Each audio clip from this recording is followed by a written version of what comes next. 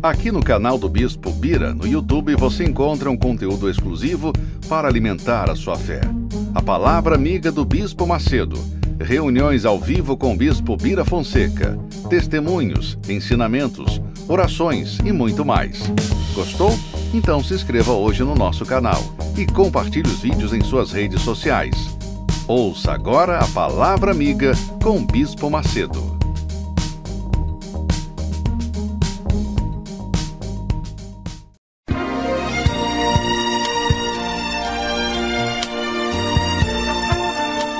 No momento em que a humanidade sofre por tanto desamor, pela fome, pelas guerras, os tóxicos alimentando a violência em nossa cidade. Esta emissora traz até você momentos de amor, paz e alegria, através de um programa feito com carinho para o seu coração.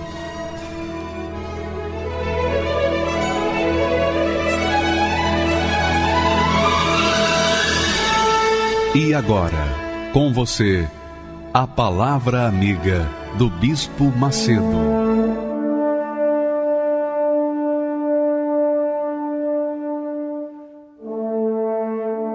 Olá, meus amigos, Deus abençoe a todos que ouvem, participam dessa programação, em o nome do Senhor Jesus Cristo. Ontem eu fiz uma pergunta como é que eu tenho certeza? Como é que eu posso ter certeza absoluta de que Deus é comigo? Como? Como eu posso ter certeza? Qual é o sinal que Deus me dá que Ele é comigo? Sabe qual é, minha amiga e meu amigo? é quando eu, eu estou seguindo, quando eu estou servindo, quando eu estou 100% com Ele. Então, se eu estou certo de estar com Ele, é porque Ele está comigo. Se eu estou absolutamente convicto de que ando com Ele, é porque Ele está comigo. Claro, uma pessoa que vive na mentira, na prostituição, no roubo, na corrupção, no pecado, na injustiça, essa pessoa não tem certeza que Deus é com ela. Ou tem? Não, não tem. Por que, que não tem? Porque o pecado, o pecado gera dúvida dentro da gente. Quando você quando eu ou quando nós pecamos, imediatamente vem a dúvida, vem o medo, que é a, a arma mais letal da dúvida é o medo. Você verifica, por exemplo, quando Adão e Eva pecaram, imediatamente eles se, eles se esconderam de Deus. Por quê? Porque estavam em pecado. E o pecado traz dúvida. E a dúvida gera morte, porque quando a pessoa está na dúvida, ela não tem certeza de nada, obviamente, nem muito menos da presença de Deus. Mas quando a gente tem certeza de que estamos vivendo uma vida de acordo com a palavra de Deus, nós temos certeza também que Deus é conosco se eu tenho certeza de que eu estou andando de acordo com a palavra de Deus, então eu tenho certeza também de que Deus é comigo. Então é um, é um toma lá da cá. É, é isso aí. Dai e ser-vos-á dado. Então, quanto, quanto mais eu me entrego, quanto mais me dou para Deus, mais Ele se dá para mim. É assim. E essa foi a experiência que Josué teve com Deus. Quando nós falamos ontem que Deus apareceu para Josué logo após a morte de Moisés, Deus falou para ele: Josué, o meu servo Moisés está morto. Não adianta você ficar aí sentado, chorando, lamentando. Não! Levante-se! Levante-se agora, agora! Bom ânimo e conquiste a terra que eu tenho prometido, eu tenho dado a vocês. Ora, Deus nos tem dado uma terra prometida. Essa terra prometida, obviamente, ela representa tudo que Deus tem de melhor, que é o reino de Deus, o reino de Deus e a sua justiça. E no reino de Deus, quando você entra no reino de Deus e pratica a sua justiça, você colhe os frutos do reino de Deus. O que, que tem no reino de Deus? Doença, enfermidade, miséria, pobreza, desgraça? Não. No reino de Deus nós temos o melhor, o melhor de Deus. O fato de muitas pessoas estarem é, vivendo numa religião, mesmo que seja evangélica, mas estão vivendo numa miséria, numa desgraça, porque certamente elas ainda não entraram no reino de Deus. Talvez esteja com o pé lá, mas não entraram. Por quê? Quando a pessoa entra no reino de Deus, então todas as demais coisas são acrescentadas. É o que disse Jesus. Todas as demais coisas serão acrescentadas, ou são acrescentadas. Mas para conquistar o reino de Deus e as suas bênçãos, para conquistar a nossa terra prometida, vamos seguir o conselho que Deus deu para Josué. Por favor, coloque o texto aí. Então Deus falou para Josué: tão somente esforça-te e tem muito bom ânimo. Em outras versões diz assim: tão somente ser forte e corajoso. Mas a linguagem, a tradução mais correta está aí. Tão somente esforça-te e tem muito bom ânimo, para teres o cuidado de fazer, de se conduzir, de exercitar, de obedecer, conforme a toda a lei que o meu servo Moisés te ordenou. Então, Moisés recebeu a lei e passou para o povo dele. E, obviamente, passou para Josué. Deus também nos tem transferido a sua lei, a sua palavra, que é a sua palavra.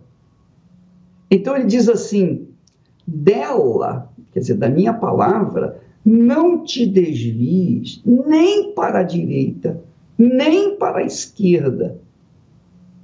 Antes, Deus mandou Josué se levantar e deixar Moisés para lá deixar os sentimentos de amizade e, e de perda para lá, para trás, e olhar para frente. Agora Deus não fala só para olhar para frente, não. Ele manda não olhar nem para a direita, nem para a esquerda, não se desviar nem para a direita, nem para a esquerda. Para que prudentemente, quer dizer, com consciência, com sabedoria, te conduza por onde quer que andares. Quer dizer, a palavra de Deus nos conduz por onde quer que nós formos. Se nós formos para a cidade, a palavra de Deus vai nos conduzir como nós devemos viver na cidade e fugir do mal. Se nós formos para o campo, a palavra de Deus vai instruir como nos devemos comportar no campo de uma forma ou de outra, onde quer que você for, você tem que se comportar de acordo com a palavra de Deus. Não de acordo com, com uh, profecias pessoais, particulares ou revelações. Não, minha amiga, nós não precisamos disso. O cristão não precisa de ficar ouvindo profecias de profetas, nem revelações de pessoas que dizem ter mais o Espírito Santo, que tem talentos, que dizem ter dons. Não. O dom que Deus nos dá na, da profecia é a palavra dele. A profecia é a palavra dele. A profecia é a palavra dele. A revelação está na palavra dele. Sempre nós trazemos aqui revelações, mas revelações da palavra dele, não é revelação que eu tive para falar para você de acordo com o meu pensamento. Não, é de acordo com a palavra de Deus. Então, cada vez que eu leio a Bíblia, cada vez que eu medito na palavra de Deus, eu recebo uma instrução, eu, re, eu recebo uma revelação daquilo que eu estou lendo, que em outras ocasiões eu tinha um entendimento. Hoje Deus nos dá um outro entendimento, mas todos, o, todos os entendimentos que eu tenho sobre aquele mesmo versículo funcionam, funcionou naquela, naqueles tempos e funcionam, funcionam hoje da mesma forma. Só que Deus nos abre, alarga a nossa visão. Então, nós não podemos nem devemos dar ouvidos a qualquer profeta ou reveladores desse mundo. Não, nós temos que dar ouvidos à palavra de Deus. E muitas pessoas casam e descasam por causa dessas revelações, dessas profecias, profecias do diabo. A pessoa tem o título de profeta, tem o título de pastor, tem o título de missionário, tem o título de bispo e dá uma profecia para uma pessoa particular, desgraça a vida dessa pessoa. Eu até me lembro, não me esqueço nunca, o, o bispo da minha igreja, de onde eu nasci, na fé, o bispo, um homem muito instruído, muito espiritual, muito de Deus. Mas ele, ele cometeu um grande erro, um grande erro. Ele falou com um parente meu, muito próximo, ele disse para aquele rapaz, ele diz assim, olha rapaz, Deus está me dizendo que você vai ser um homem muito rico e vai poder ajudar a igreja, construir igrejas, ajudar outras pessoas com trabalhos sociais, com trabalhos espirituais, com a pregação do evangelho. E aquele jovem que tinha mais ou menos a minha idade, ele ficou entusiasmadíssimo. Ele ficou cheio de alegria, de fé. Só que Passaram-se mais de 50 anos. O bispo morreu, que deu a profecia. Ele, o rapaz que estava esperando o cumprimento da profecia, até hoje vive na pobreza. Mas de onde está o cumprimento daquela profecia? Aquela profecia não foi de Deus.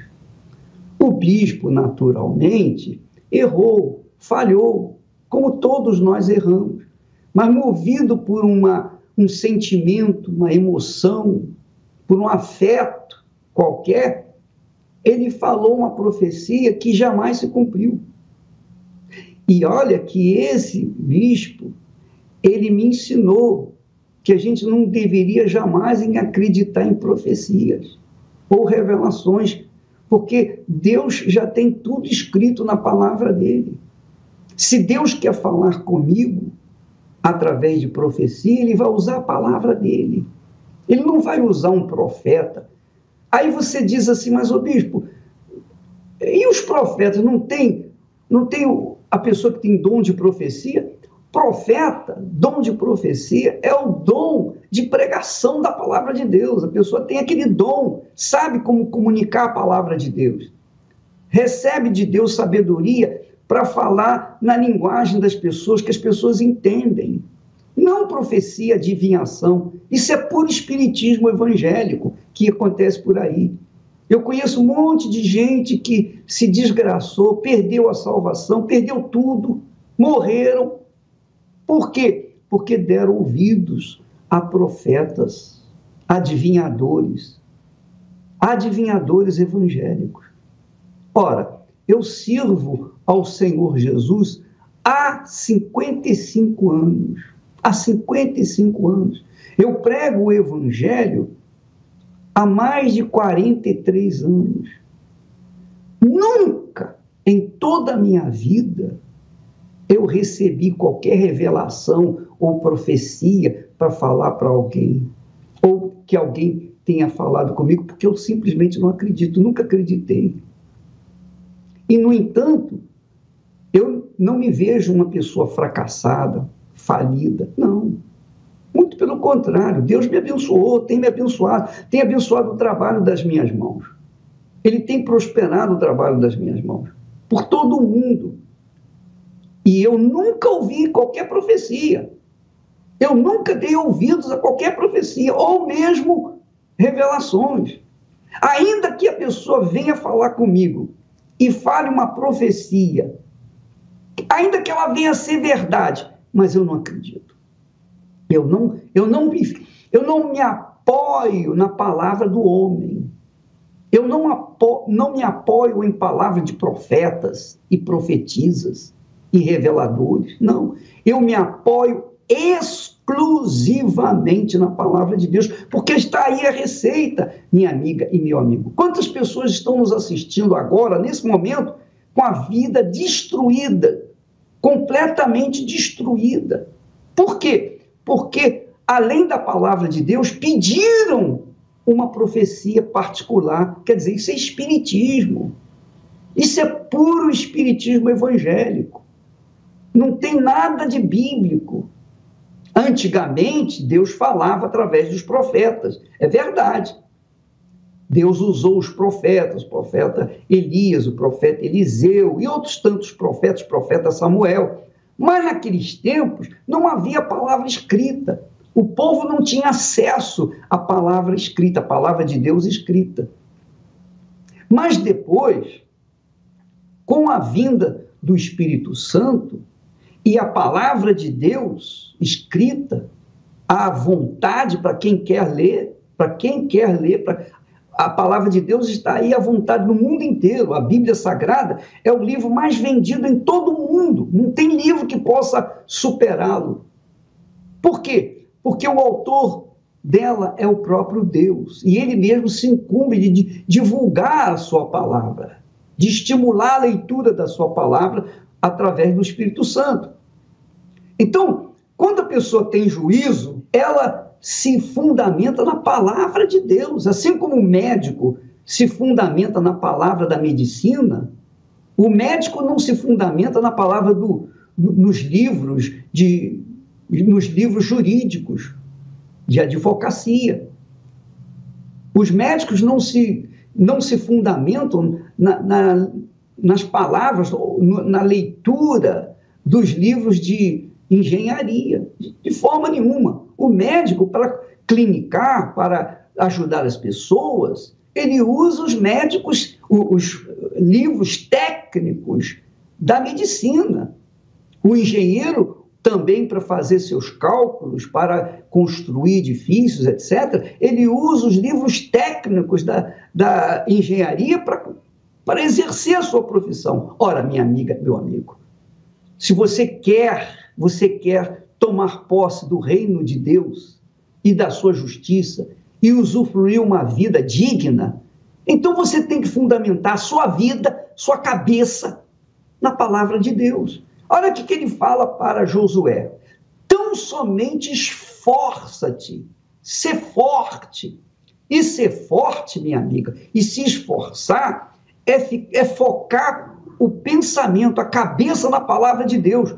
Porque a palavra de Deus é o Espírito Santo falando com a gente. Ora, quando o Espírito Santo fala, ele não deixa dúvida. Ele não deixa nenhuma dúvida. Por acaso Deus precisa de um profeta para falar com você? Será que a Bíblia não é suficiente? Será que a palavra dele não é suficiente? E se ele usa profeta ou profetiza para falar com a gente, então como é que eu vou agir? Eu vou, eu vou é, como é que eu vou agir a minha vida? Eu vou crer na palavra dele ou na palavra da profeta? Quer dizer, aí já me traz dúvida. aí eu já fico dividido. Aí eu já tenho que escolher entre a palavra dele e a palavra do profeta, ou da profeta, ou profetiza. Entendeu, minha amiga? Então, seja inteligente, minha amiga e meu amigo. Fundamente a sua fé, sua vida na palavra de Deus. Ele disse: esforça-te, quer dizer, ser forte. Faça, faça aquilo que eu estou te mandando. Não fique ouvindo a A, B ou C, não, fica, ou, não fique ouvindo a, a balela que existe, as falácias desse mundo, não. Quantas pessoas têm sofrido por causa das fake news? Quantas pessoas deixaram e até morreram por causa das fake news? E quantas pessoas hoje dão testemunhos de que realmente se é, elas foram tolhidas da sua liberdade por causa das fake news, notícias falsas. E quando chegaram na Igreja Universal do Reino de Deus, mudaram suas vidas, porque viram a verdade. A verdade, que verdade? A verdade da palavra de Deus. Então, ser forte ou se esforçar, se esforçar é isso. Você ficar, fincar o pé, focar sua mente na palavra de Deus, acima de toda palavra, qualquer palavra. Qualquer palavra. Você tem que ficar com a palavra de Deus. Vou dizer uma coisa para você, preste atenção. Eu tenho pregado a palavra esses anos todos, graças a Deus.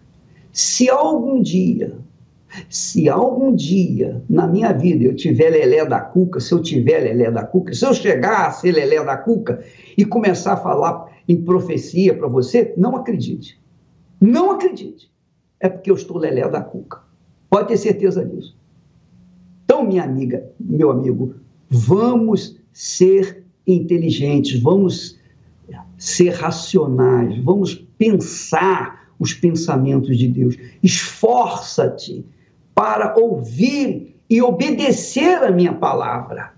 Tem muito bom ânimo, quer dizer, seja corajoso para assumir a fé na minha palavra. Você não me vê, você não me toca, você não me sente, mas você tem a minha palavra e acabou. Você precisa mais do que a minha palavra para você fundamentar a sua vida? Não, você não precisa.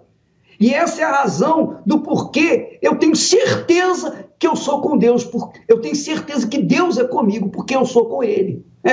Se eu tenho essa certeza que sou com Ele, é porque Ele é comigo. E ele diz: ser forte corajoso, esforça-te, tem muito bom ânimo, para teres o cuidado, o cuidado, você tem que ter o cuidado para fazer de acordo com a palavra dele, com a lei, com toda a lei que o meu servo, meu servo Moisés, te ordenou.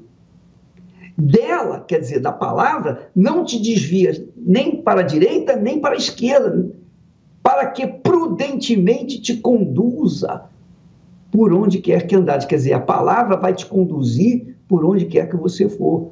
E isso tem acontecido comigo. Então, muitas pessoas me odeiam, muitas pessoas evangélicas, muitos, muitas profetizas. Você pode verificar todos os testemunhos de eh, fake news.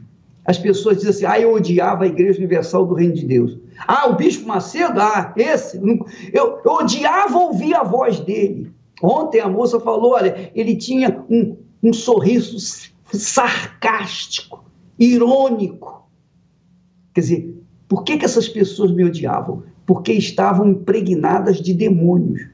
Porque quem tem o espírito de Deus tem o mesmo espírito que eu. Então, entende a minha linguagem e, e, e, e me ama. e me ama. Agora, tem evangélicos que me odeiam, sabe por quê?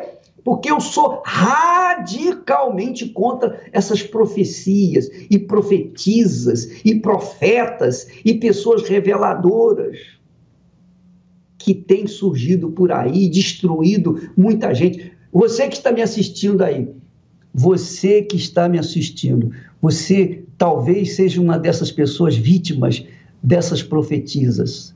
Você se casou com uma pessoa porque a profetisa da sua igreja diz: Ó, oh, esse é o homem que Deus está falando para você se casar. Você casou com ele ou casou com ela, a sua vida se desgraçou. Esse meu amigo, esse meu amigo, esse meu parente, que recebeu uma profecia mais de 50 anos atrás, esperando, o, o bispo da minha igreja falou assim: olha, rapaz, você vai ser muito rico. Até hoje ele é pobre, paupérrimo, paupérrimo. Ele está esperando, ele está esperando essa profecia. E olha que ele está mais lá do que para cá, porque ele tem a mesma idade, mais ou menos a mesma idade que eu.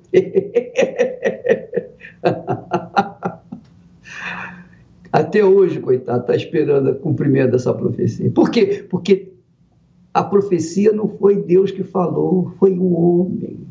Foi o homem, não foi Deus. Foi um espírito, sei lá, o espírito imundo in, eh, inspirou o, o, bispo e ele falou besteira e, coitado, o, o rapaz está até hoje. Aliás, não é mais rapaz, é um senhor. Ah, oh, minha amiga, meu amigo. Você quer conquistar, você quer ser bem-aventurada, bem-aventurado? Então não dê ouvidos a profecias, nem profetas, nem a ninguém.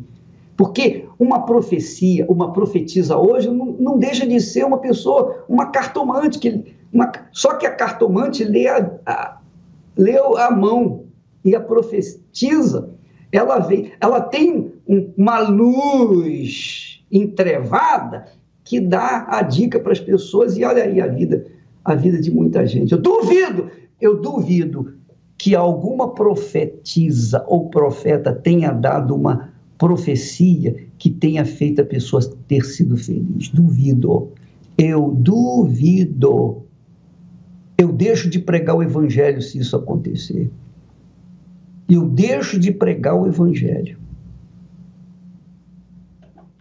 Essa é a realidade. Minha amiga, meu amigo, cuide da sua fé. O apóstolo Paulo diz: não limiteis a vossa fé nas nos afetos, nos sentimentos. Não limiteis a vossa fé no sensacionalismo, nas amizades. Use a sua fé na palavra, especialmente, est, é, exclusivamente, melhor dizendo, na palavra de Deus. Use a sua fé inteligente. É isso que eu chamo de fé inteligente. Fé inteligente é aquela fé que prudentemente a pessoa toma a decisão em cima da palavra de Deus, não da palavra do homem. Nós vamos assistir agora o testemunho de um advogado que aprendeu essa fé inteligente. Ele vivia uma vida desgraçada, miserável. Mas quando ele tomou, tomou conhecimento da palavra de Deus, ele mudou a vida dele. Olha só o que, que aconteceu com ele. Vamos assisti-lo. Meu nome é Janderson Menezes, tenho 36 anos, sou pós-graduado em Direito do Consumidor. Eu vim de uma, uma família muito humilde, muito humilde mesmo. Eu sou irmão do meio de oito irmãos da minha família. Eu vim de uma situação é, deplorável por ter morado numa comunidade. Como muitas comunidades aqui em São Paulo, ela traz diversos problemas, dentre eles o problema da fome né? e da miséria. E devido a essa dificuldade de fome e miséria, é, chegou um momento da, da nossa vida, na nossa família, que tivemos que ir para um lixão para pegar o lixo daquele local. Né? E aquilo era humilhante, mas era a única coisa que nós tínhamos para nos alimentar. Moravam dentro de um cômodo com um banheiro, sete pessoas. Para usar o banheiro, tinha também aquela questão de humilhação, porque você está ali ao relento. Então, nós fomos morar em um cômodo com sete pessoas e passando necessidade.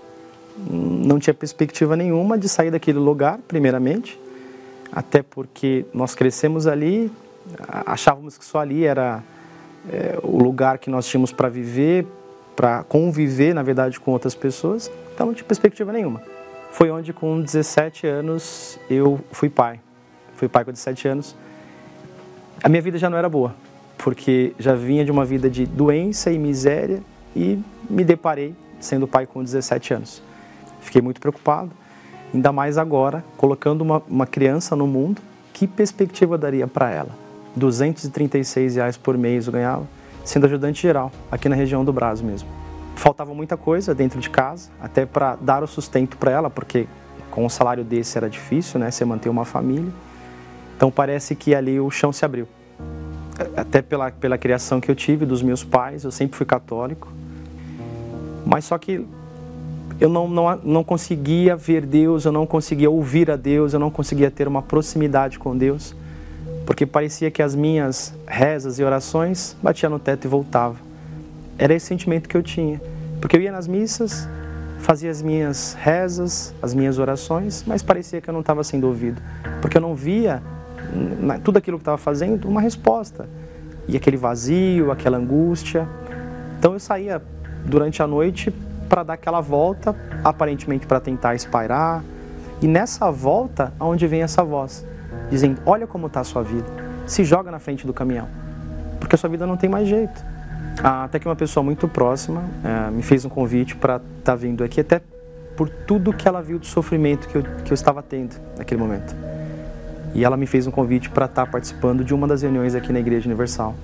Eu odiava a igreja por tudo que a mídia plantava de informações, por tudo que a mídia plantava de, de coisas que a igreja tinha feito e, na verdade, não tinha feito. Eu resolvi dizer sim porque, sabe quando você está se afogando e alguém joga aquela corda ou joga aquela boia para você de, de salvação? Quando me fizeram um convite para estar tá vindo na Igreja Universal, eu disse sim porque aquele momento eu achei a tábua da salvação. Eu falei, alguém está me levando para um lugar ou está me direcionando para um lugar que alguma coisa vai acontecer. Eu vim sem perspectiva nenhuma do que queria acontecer, mas eu vim. Eu disse sim, até para saber o que, que vai acontecer. Porque comecei a usar a inteligência, minha vida até agora não mudou. Alguém está jogando uma oportunidade, eu vou abraçar. E eu vim. Eu falo que o primeiro dia assim foi abriram os meus olhos e tiraram um caminhão das minhas costas, porque me deram uma oportunidade mostraram para mim que a minha vida, que era antes daquela maneira, poderia ser diferente. Me falaram, ó, aqui tem uma, um caminho para que a sua vida seja diferente daquilo que tem sido até agora. Então, aquela oportunidade eu abracei com, com os dentes. Falei, aqui é o caminho. E foi onde eu comecei a, a vir e frequentar as reuniões da igreja, ouvindo a palavra. E não só ouvindo, também comecei a praticar. Um dos pontos que eu comecei a praticar foi a questão do dízimo sabendo que aquilo é uma primícia. E que não só o dízimo por ser primícia, mas Deus tinha que ser primícia acima de tudo. Foi, como foi quando eu coloquei em prática essa decisão. E eu entendi que mesmo naquela situação que eu estava passando, ganhando pouco, eu ganhava 236 reais, então dízimo 23 reais. Fiz questão de separar. Eu comecei a aprender mais, me aprofundar mais. Eu comprei uma Bíblia, comecei a ler mais a Bíblia e devido e vindo nas pregações ouvir a questão do batismo. Então eu fui galgando e aprendendo coisas não religiosas de fato, mas que me fizeram entender que a minha prioridade tinha que ser Deus. Uma das palavras que marcaram a minha vida foi buscar e pois em primeiro lugar o reino de Deus. Eu entendi isso. Eu entendi que eu tinha que priorizar o reino de Deus, que eu tinha que colocar a Deus acima de todas as coisas foi onde abri mão de tudo aquilo que aparentemente eu tinha, dos meus desejos, das minhas vontades. Quando eu vi falar do Espírito Santo e saber que o Espírito Santo seria a coisa mais importante que eu teria na minha vida, acima de tudo, foi quando eu me dediquei em buscá-lo 100%. A ponto de eu ter tanta sede de querer o Espírito Santo, de buscar em duas reuniões. Às quartas-feiras, em dois horários diferentes. Eu abri mão de tudo que eu tinha de ideias, eu abri mão, a fim de buscar o Espírito Santo, me entregar 100% para Ele. Esse dia foi numa quarta-feira, 8 horas da noite, e esse dia ficou marcado na minha vida porque naquele momento eu, eu me reconheci e vi que não sou nada diante de Deus e que a partir daquele momento minha vida seria outra. Foi quando Ele me abraçou, foi quando Ele me envolveu, foi quando ele mostrou para mim que de fato era comigo. Mas quando eu recebi o Espírito Santo, veio a força de Deus dentro de mim. Uma certeza que ninguém tira, a convicção que de fato o Espírito Santo está dentro de você. Que a partir daquele momento que o Espírito Santo te encheu, você é uma nova pessoa, novas atitudes, começa a enxergar as coisas diferentes. E uma das coisas principais que demonstra que você tem o Espírito Santo é o amor pelas almas, é a dedicação em ajudar o próximo, querer com que ela tenha aquilo que nós temos, que é a paz, que é a alegria, que é a força de Deus. Aquele dia eu fui embora radiante. Parece que ele te pega nos braços assim e fala: Agora eu sou contigo. Agora nada vai vir lutas, vai vir problemas, mas nada vai te tirar. Depois que recebi o Espírito Santo, depois que eu comecei a ser guiado e dirigido pelo Espírito Santo, a minha vida teve um outro sentido. O Espírito Santo preparou uma pessoa para mim, minha atual esposa, estou casado há 11 anos. Então, quando eu escolhi a minha profissão, eu falei: até a minha profissão tem que ser para ajudar as pessoas. A minha formação em direito foi para ajudar outras pessoas. Hoje eu sou bacharel em Direito, pós-graduado em Direito Consumidor. Hoje eu tenho dois apartamentos, tenho uma vida próspera, eu trabalho numa multinacional hoje, sou bancário. Consigo dar para minha família um conforto, um lar abençoado, tenho um casamento abençoado, um relacionamento com os meus filhos. A minha filha mora comigo hoje, a minha filha tem 19 anos. Devido a tantos problemas que eu passei, ela optou em morar com o pai, até por ver o testemunho né, que nós temos, até por ela ver o Espírito Santo em mim. Acredito eu que isso motivou ela a morar comigo. Hoje eu não faço nada sem a direção do Espírito Santo. Porque quando nós recebemos o Espírito Santo, a gente entende que o principal na nossa vida tem que ser Ele. Então, você, minha amiga, viu? Ele deu ouvidos à voz de Deus, à palavra de Deus. E ele buscou o primeiro reino de Deus, depois buscou o Espírito Santo, que é a justiça a partir do momento que a gente tem o Espírito Santo, a gente não precisa ficar ouvindo profetas, nem profetizas, nem, nem revelações. Quem tem o Espírito Santo anda com as suas próprias pernas.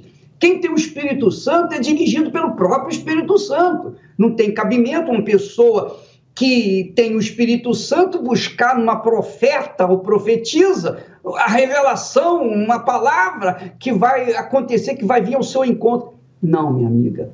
Quem tem o Espírito Santo tem a direção do Espírito Santo. oh, meu Deus, oh, Brasil, por favor, pare e pense um pouquinho só. Pare e pense. Porque de repente você é uma pessoa até religiosa, caridosa, uma pessoa que faz boas obras, caridade, etc, etc. Mas a sua vida está pífia, a sua vida está um, uma vergonha, tão, tão caos Está um lixo. Por quê? Porque você não usou o seu intelecto, o seu raciocínio, sua inteligência na palavra de Deus. Coloque a sua vida na palavra de Deus e a palavra de Deus vai cumprir todos os seus as suas promessas na sua vida. É toma lá da cá. Toma lá da cá. É o caso que aconteceu com esse rapaz. Você, minha amiga e meu amigo, Tome esse exemplo para que você possa mudar de vida, porque Deus quer o melhor para você. Ele não quer qualquer coisa, não. Ele quer fazer com que você seja a glória dele neste mundo. Escute bem o que eu estou falando. Deus quer que você seja a glória dele neste mundo. Ele não quer ser glorificado só com as estrelas, com o sol, com a lua e, e, e a beleza da natureza. Ele quer ser glorificado através de você, da sua vida. Ele quer que você ilumine, ao invés de ficar buscando a luz aqui, ali e acolá. Ele quer que você seja o próprio sol. Jesus disse: Eu sou a luz do mundo. Depois ele disse: Vós sois a luz do mundo. Deus quer que você seja a luz do mundo. Você quer? Então, ouça a palavra de Deus, obedeça e você vai ver o que, vai acontecer na sua vida. Graças a Deus. Caminhava por estradas tão desertas. Eu sofria, assim, eu procurava meus amigos podiam me ajudar. Eu sofria, mesmo assim, eu caminhava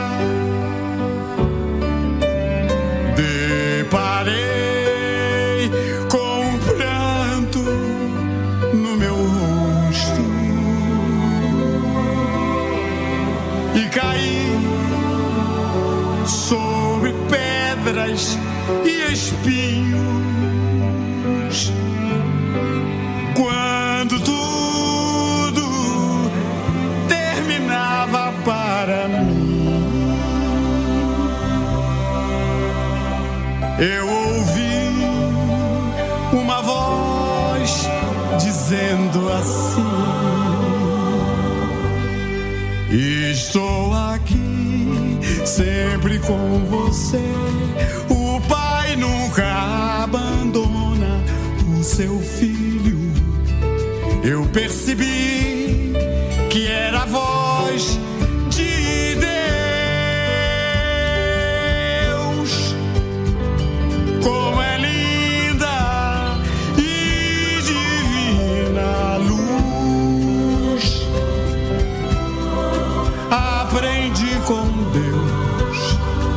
ser feliz e caminhar com Jesus. Quero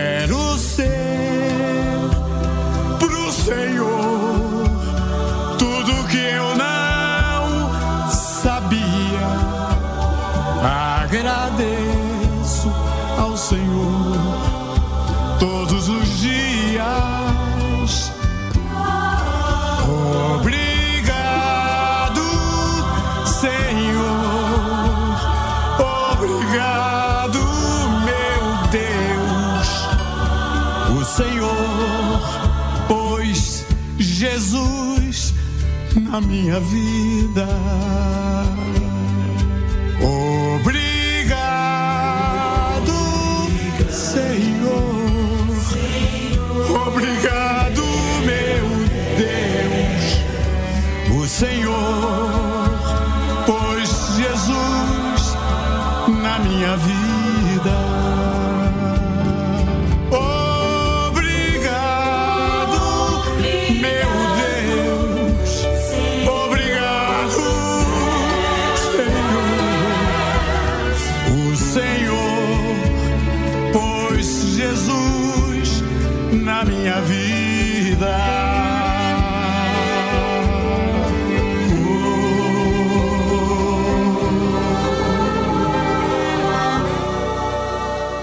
Nome é Alessandra, eu sou vendedora, eh, eu venho da cidade de Osasco.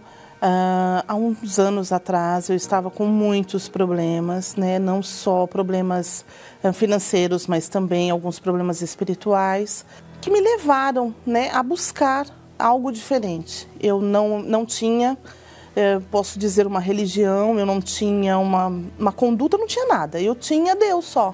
Eu falava bastante com Deus. Vim do kardecismo, né? Mas eu, a minha vida era com Deus. Eu sempre questionava a Deus o motivo de certas coisas, de certos problemas, de certas dificuldades, mas eu tinha problemas, problemas relacionados ao casamento, problemas relacionados à vida financeira, eh, e que me incomodavam. E eu sempre falava para Deus por que, que eu era eh, uma pessoa boa e eu não conseguia eh, vencer aqueles problemas. Até que uma noite eu não conseguia dormir, eu vinha já algumas noites não, não conseguindo dormir. Ah, eu perambulando pela TV, buscando algo para assistir, eu parei no canal, que eu nunca tinha parado. E ele falava justamente disso, da pessoa que não tinha, estava sem rumo, da pessoa que estava com problemas, problemas na vida familiar, não importava qual. E convidando para essa reunião. E aí naquele dia aquilo me despertou, me chamou minha atenção. Até que eu escutei uma voz bem audível dentro do meu ser, dizendo: Quer resposta, filha minha? Vinde a mim. Simples assim. Eu tomei um choque por dentro. Continuei escutando aquele bispo, prestei até muito mais atenção. Mas ao mesmo tempo aquilo é, me confortou por dentro, porque é como se Deus estivesse realmente ali. Era um momento em que Ele estava falando comigo. E aí eu fui, duas semanas depois, né, duas, não naquela segunda-feira, mas na próxima, eu fui até o João Dias. E nessa reunião eu chorei do começo da reunião até o fim da reunião. Eu voltei para casa bem pensativa. E no dia seguinte, no café da manhã, eu não toquei uma palavra com meu marido. Meu marido, nessa noite, ele não sossegava na cadeira da igreja. Uh, no dia seguinte, no café da manhã, eu virei para ele e falei exatamente assim: Eu não sei você, mas eu não volto mais. Não é não volto mais para a igreja, eu não volto mais para a vida que eu levava. Eu vou aprender o que Deus tem para me falar, eu tenho certeza que lá vai me ensinar. E Ele vai me ensinar, é Ele quem vai me ensinar. E eu estou na igreja até hoje. Então, depois disso, né, é, eu continuei indo para a igreja, fui em busca, né, daquilo que Deus realmente tinha para me ensinar, que a minha sede era de aprendizado, eu precisava aprender. Falaram do batismo, eu fui para o batismo. Falaram do encontro com Deus, eu tive o meu encontro com Deus também numa reunião de segunda-feira né, ali na, alguns meses depois, né, eu era nesse meio tempo viciada em cigarro. Eu deixei o vício, tive um encontro com Deus e fui batizada com o Espírito Santo. Maior, a única, mais importante de todas é o Espírito Santo, porque sem ele você não vence nada. Você pensa que vence, você pensa que consegue, porque se Deus não estiver ali te sustentando a todo tempo, todos os dias, nada acontece, porque os baques eles vêm, os problemas vêm, as dificuldades vêm. E se você não tiver aquele fortalecimento, né, aquele, ah, o senhor está comigo, eu vou vencer, né, tá tudo certo. Bom, eu agradeço, né, a todos que colaboraram naquela época para, que aquele programa estivesse sendo exibido, né? E como todos as, toda a programação que é exibida na Record e também em todos os outros canais, né? Porque salva vidas. Salvou a minha, né? E eu acredito que está salvando muitas. E eu só tenho a agradecer, só agradecer.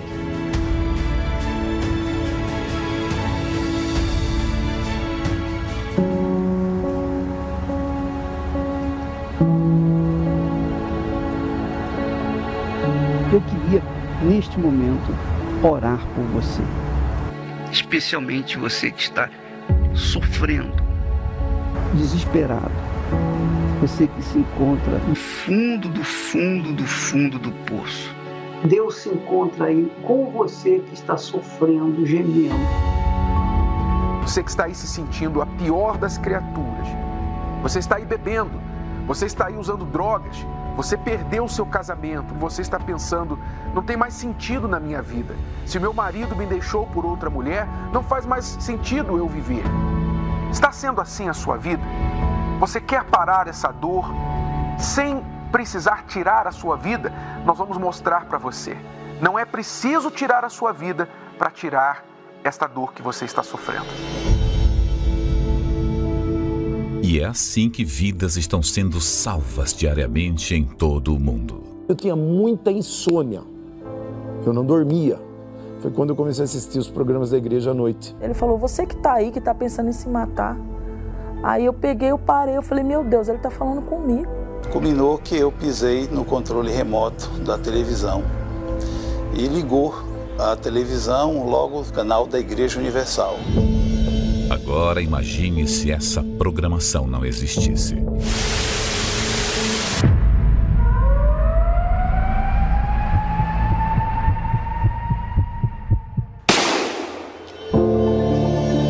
Só existe um motivo para esses veículos de comunicação permanecerem 24 horas por dia, levando vida, paz e socorro aos aflitos e desesperados. A sua contribuição. É por essas antenas que alcançamos os lares dessas pessoas que necessitam da sua ajuda. Desde a época de Jesus, ele já sabia que sobre o telhado o alcance de pessoas era bem maior. O que vos digo em trevas, dizei-o em luz, e o que escutais ao ouvido, proclamai-o sobre os telhados. Seja livre aí onde você está. Seja livre desse pranto. Seja curado da sua enfermidade, desse espírito de opressão, de desespero. Seja um proclamador do telhado e ajude você também a chegarmos àqueles que não sabem mais o que fazer. Doe pelo Banco Bradesco, agência 3396, dígito 0, conta corrente 15250, dígito 1. Pelo Banco do Brasil, agência 1911, dígito 9, conta corrente 206 577, dígito 0. Se preferir, doe através do site universal.org/doar, pelo aplicativo da Universal no seu smartphone ou tablet, ou faça sua doação diretamente em uma Universal. Meu nome é Alessandra Brito, eu tenho 41 anos. É, atualmente eu sou empresária do ramo financeiro. A Igreja Universal, para mim, era uma instituição formada para arrecadar fundos de pessoas simples, pessoas pobres, pessoas que não tinham um esclarecimento. Eu via muitas notícias, mas aquilo me causava um desconforto tão grande que eu não conseguia dar sequência. Eu abria, quando começava a falar, eu já desligava. Então, é, havia dentro de mim um preconceito. Eu enxergava o Bispo Macedo como uma pessoa que era chefe de uma seita satânica. Eu tinha receio de que ele fizesse uma lavagem cerebral em mim também. Então eu mais do que depressa eu mudava de canal. Eu simplesmente me alimentei daquilo que eu recebi né, que ele era uma pessoa é, que tirava dinheiro dos pobres, que tudo era dinheiro, que ele vendia a bênção, que ele fazia as pessoas acreditarem que as pessoas iam vencer, mas para que elas vencessem, elas tinham que pagar. É, eu sempre trabalhei no banco, o meu problema sempre foi é, profissional.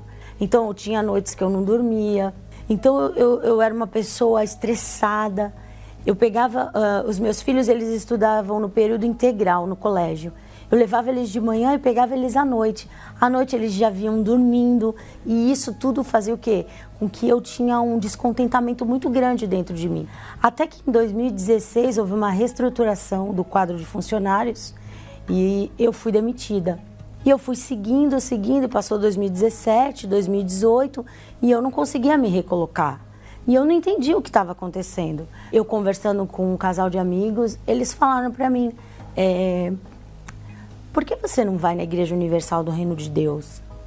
E eu pensei naquilo, conversei com meu esposo até, e aí eu, eu comecei a abrir mais o meu coração, né? E eu pensei em fazer uma assessoria financeira e eu consegui um cliente que me pagava 300 reais e ele era meu tio.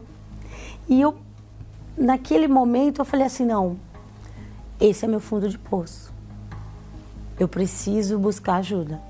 A gente foi até a Igreja Universal do Reino de Deus, assistimos uma reunião de domingo e eu comecei a acompanhar na Bíblia. Eu fiz questão de levar a Bíblia para ver se o que ele estava falando, que o bispo estava falando, estava na Bíblia. O pastor falou do projeto que tinha na, nova, na Fazenda Nova Canaã, do projeto que é, eles fazem nos presídios, que é sensacional. Os projetos que eles fazem dentro dos hospitais, as pessoas, é, os policiais que sofrem com depressão. Isso tudo a gente só vai saber se a gente procurar saber, porque isso a mídia não mostra. Diante de, de todo esse trabalho sensacional que a Igreja Universal faz com aquelas crianças na Fazenda Canaã, eu sempre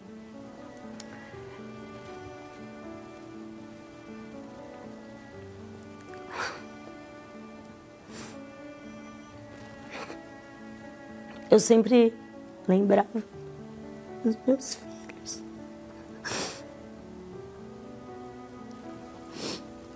Eu não tenho palavras para agradecer a oportunidade que Deus me deu de eu fazer parte da Igreja Universal do Reino de Deus.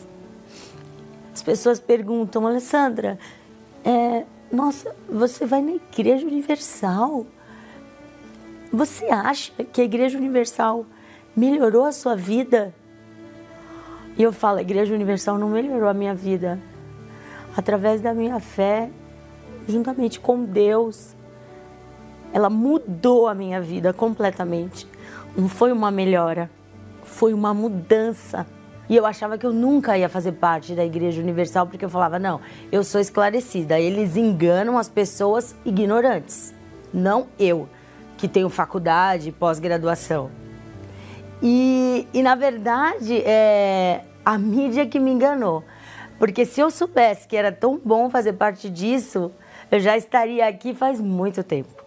Então, toda a sabedoria que eu achava que eu tinha, adquirido na minha vida acadêmica, ela não é nada diante da sabedoria que a gente tem quando a gente tem o Espírito Santo de Deus. A gente consegue é, discernir ali é, o momento certo de falar, as palavras certas. Quando eu recebi o Espírito Santo, me veio uh, uma paz. Eu, eu não sou mais aquela pessoa estressada. Eu não sou aquela pessoa que respondo de bate-pronto. Você pode ter é, faculdade, MBA, você pode ter doutorado, mas se você não tiver o Espírito Santo de Deus, você não tem sabedoria alguma. E através da fé nós abrimos a nossa própria empresa. E aí, ao invés da gente trabalhar para um banco, nós prestamos serviço para todas as instituições do Brasil. E hoje a nossa vida, a nossa família é completamente transformada. E você é, que está passando por algum momento difícil na sua vida, ou você que de repente tem algum preconceito com a Igreja Universal do Reino de Deus ou com o Bispo Macedo, eu te desafio a entrar na igreja mais próxima da sua casa e procurar entender o que é que realmente você vai encontrar lá, o que realmente tem lá. Lá, assim como para mim, vai ter para você a última porta. E a partir do momento que você tiver coragem e você entrar por essa porta, você vai ver que Deus, através da sua fé, ele não vai melhorar a sua vida, ele vai mudar. Elevo os meus olhos para os montes, de onde me virá o socorro. O meu socorro vem do meu Senhor. Sim, meu Pai, eu te louvo e agradeço pelo privilégio que tenho de te servir, sabe por quê? Porque eu tenho tido o privilégio de ser ouvido. Não porque eu mereço, não, mas porque o Senhor é grande, todo-poderoso. Porque o Senhor é, é com todos aqueles que são com o Senhor. Quem é contigo tem a tua presença guiando, dirigindo, orientando. Eu te louvo por isso, meu Pai, por ser um privilegiado, mais um dos privilegiados que tem nesse mundo, de que o Senhor é conosco.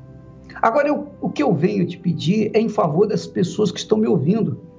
Porque não adianta eu ser privilegiado e ver tanta gente gemendo, sofrendo, urrando de dor por aí, por esse mundo afora, e sendo tão simples, tão barato, tão fácil alcançar a tua misericórdia. Basta apenas um pouquinho de humildade e um mínimo de fé, de, de crença na tua palavra, nas tuas promessas. E é isso que eu te peço, meu Pai. Faça cair a ficha dessa pessoa, remova as escamas que tem nos seus olhos espirituais e faça-as enxergar. Porque a maior miséria do ser humano não é a falta de dinheiro, de recursos, mas é a ignorância espiritual. E a tua palavra deixa a gente bem à vontade para comer do melhor desta terra, porque a tua palavra é o melhor de ti. Eu te peço por essas pessoas, em nome do Senhor Jesus Cristo, e todos os que creem, acreditam na palavra de Deus e determinam colocá-la em primeiro na sua vida, Sejam abençoados em nome do Senhor Jesus e digam amém e graças a Deus. O Senhor é quem te guarda, a tua sombra direita. Ele guarda a tua alma, te protege contra o mal. Ele guarda a tua entrada e a tua saída, desde agora e para sempre. O Senhor é quem te guarda. Nós vamos ficando por aqui, amanhã estaremos de volta. Deus abençoe a todos em nome do Senhor Jesus. Quando todas as portas do mundo estiverem fechadas e você perceber que as verdades estão todas erradas. Quando você não tiver no mundo nem mais um amigo.